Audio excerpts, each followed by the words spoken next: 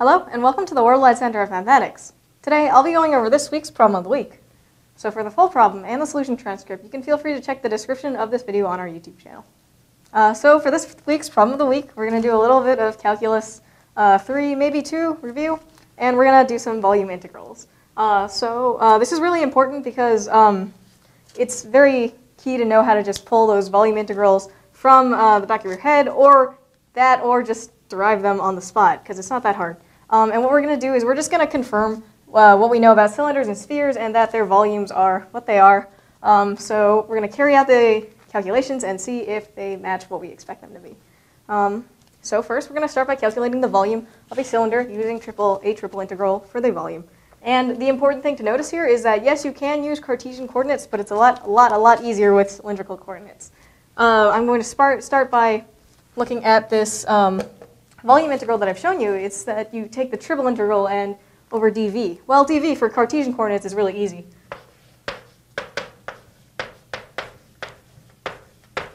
Uh, simply dv is equal to dx, dy, dz. How did I get that? Um, well, dv is a small unit of volume.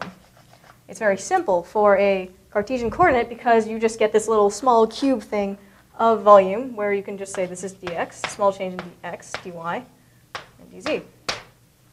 Uh, and of course, the volume of a cube, base times width times height, dx, dy, dz becomes your d, d volume unit.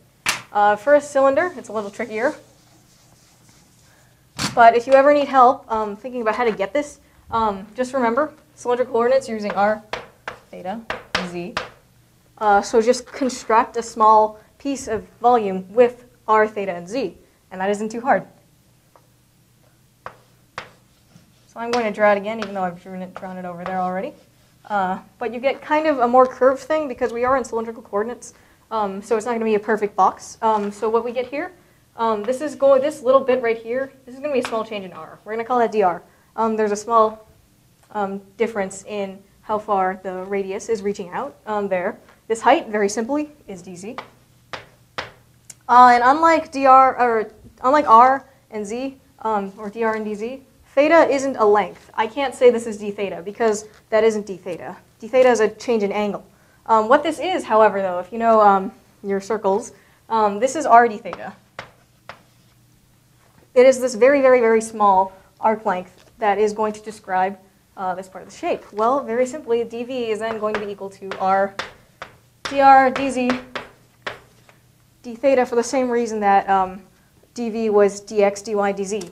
Um, if we look at this uh, diagram over here, um, hopefully that can be something you remember or is easier to remember than just rdr um, dz, d, d theta. Uh, that might actually be more useful for, for uh, spherical coordinates because this isn't too hard to remember, but yeah. Now we're going to use this.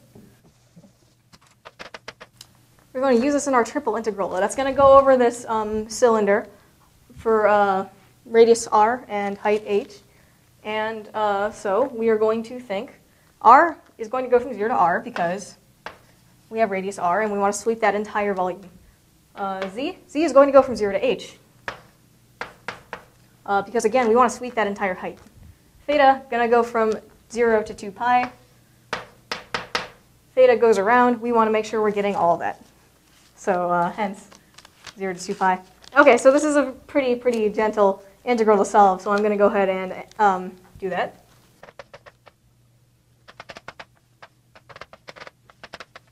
So I went ahead and evaluated that first part. I'm going to plug in 0 to r, and of course you get capital R squared over 2.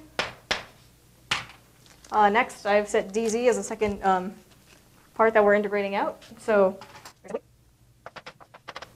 we're just going to evaluate r squared over 2 times z from z equals 0 to z equals h.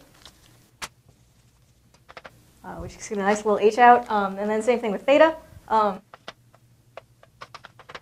and we're going to evaluate r squared over 2 h theta from theta equals 0 to 2 pi. Um, 0 is going to cancel out, just like it always does and we expect it to. Um, but then 2 pi, 2 is going to uh, cancel with this 2. As a result, we get pi r squared h, and that is exactly what we expected for the volume of a cylinder, um, just from taking middle school math or something.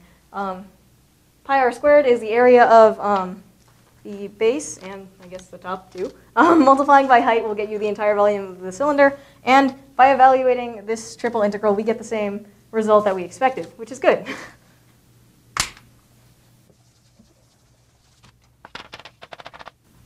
okay, next I'm going to move on to the sphere.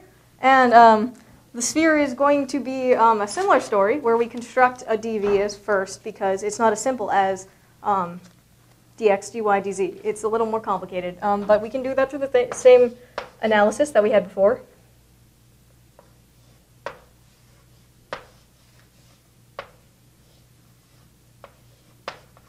Uh, so that is my attempt at a sphere slice of sorts. And um, d rho is always very easy. It's just going to be this over here. Because we have a rho going up here. And a small change in rho is going to describe that side. Okay, next, um, the next easiest one to do is to look at um, this value. And on a sphere, we are just kind of sweeping this. Um, phi usually goes from 0 to, or it doesn't usually go, it's going to go from 0 to pi. In this case, to sweep out the entire sphere. And when you want to measure an arc length over here, you're just going to go, um, so again, d phi is not a length. We have to um, make that so it is a length. So what that is going to be, though, is phi d phi.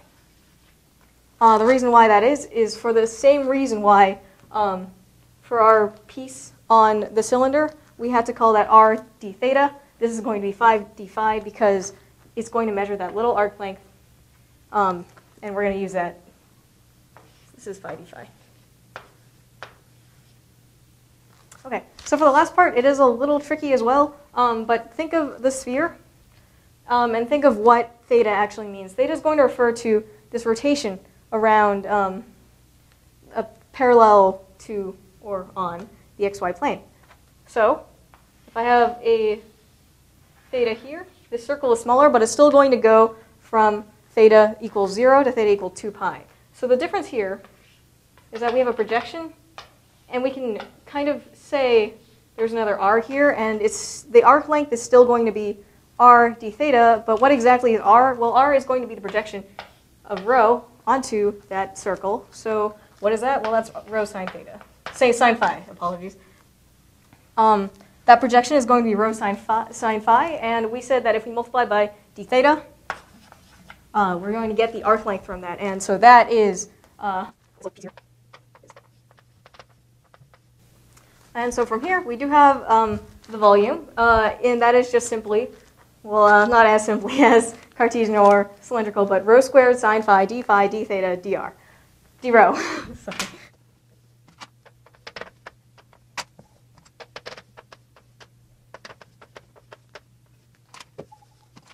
Okay, so from here, I'm going to do the triple integral, and that is just going to give me the volume of a sphere, or at least it should. And it will.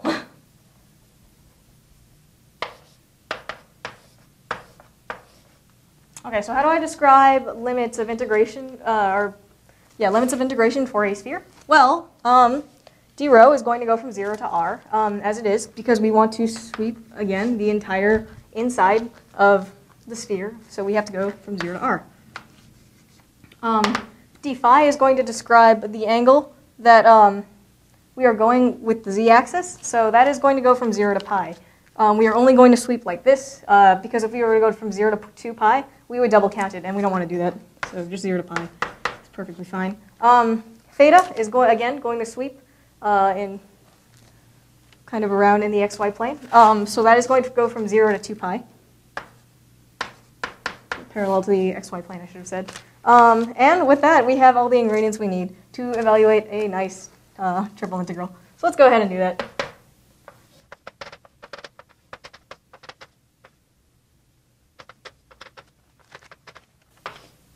Okay, so first step, I did the um, d rho first. Um, honestly, it doesn't matter uh, in this case. Um, sometimes it does for triple integrals, but in this case, it's not going to matter. Um, I did start with rho, though, so I'm going to plug in um, rho equals r and rho equals 0. What we're going to get is, of course, uh, r cubed over 3.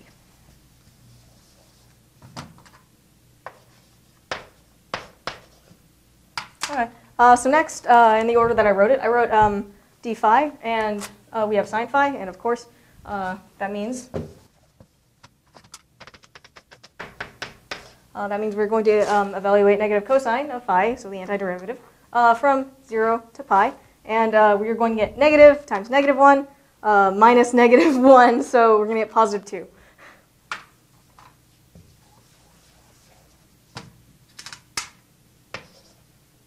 Uh, next, we have theta, and that is going to be very simply evaluating this 0 to 2 pi. Uh, and evaluating that from 0 to 2 pi, of course, gives you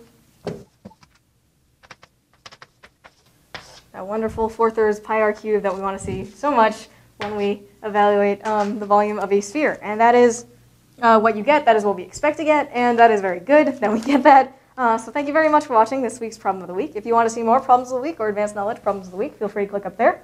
If you want to subscribe to us on our YouTube channel, feel free to click right here. If you want to visit us on centermath.org, feel free to click down here.